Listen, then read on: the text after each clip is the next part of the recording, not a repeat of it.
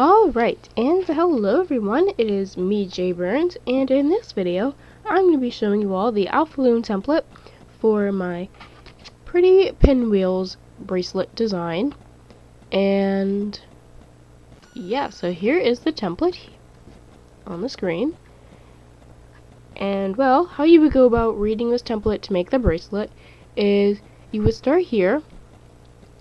You would start by reading the top numbers and you start over here with column 1, place all those bands underneath represented as squares, then you would move on to column 2, place all the bands represented as squares, and then go all the way through the template, all the way until you get to column 14, and once you placed all the bands that are here underneath column 14, you would go back to column 1, and you would just start over through the template, and keep repeating it until you make the design long enough for a roll until you make the design the length you need it to be.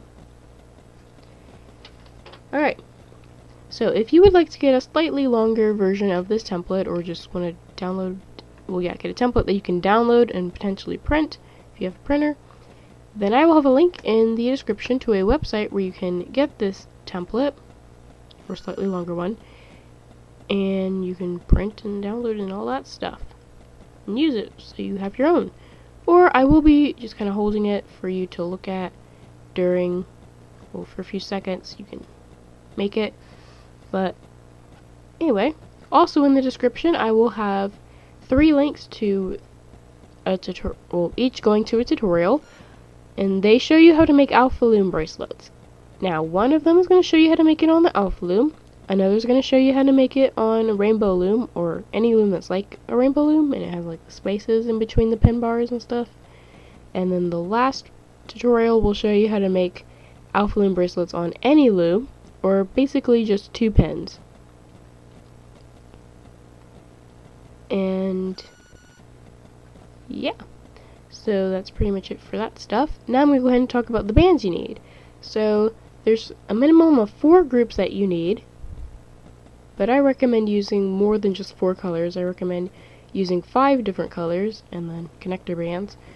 But I'll get to that in a minute. So one group of bands you'll need, which is these light blue turquoise and then these navy blue bands. You're going to need one for pretty much the border that surrounds the pinwheel. So these like teal, turquoise, blue-green, aqua green, whatever you call them these squares here, and then also the blue, dark blue, navy blue, whatever you call these color, or this color here. And then you'll need another color for the inside spaces, and they're kind of like the background, and there are these white squares, all these little lines on them to show that there's a rubber band. There are all these white squares here on the template. Then, the last group that's going to be actual colors will be the actual pinwheels, and there are these orange squares and the yellow squares. And then the last group of bands you'll need will be the connector bands, and you can't really see them here on the template because they're not really shown. But the connector bands, what they do is they make your pretty pinwheels bracelet possible by connecting all seven rows of the design together.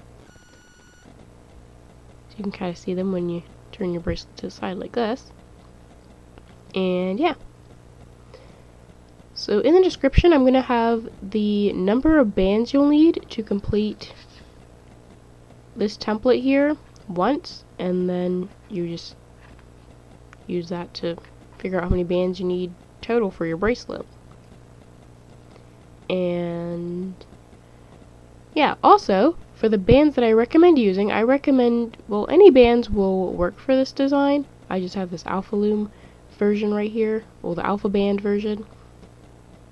And if you want more little pretty pinwheels, because this design is quite long, as you can see, the pinwheels are slightly different. This one is kind of pointing to well, it's going clockwise, that's what it is. Kind of pointing clockwise and then this other one's pointing counterclockwise. And so, since the design is pretty long, I would recommend using alpha bands or capped regular bands so you can fit more of them on a bracelet.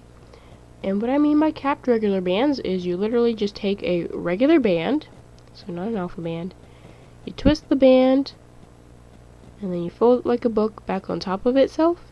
And what you do is you create a cap band out of this ordinary band, and all you have to do is just use it like this. Just like an ordinary band, or like an alpha band. And yeah. Alright, so I'm going to go ahead and hold the template up again, and then you can just use the pause button so you can make it. Alright, so I'm going to go ahead and take it off the screen now.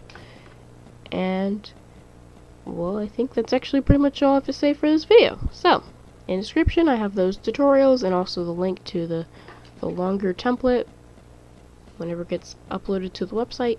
And, yep, that's pretty much all I have to say for this video. Other than thanks for watching, and bye!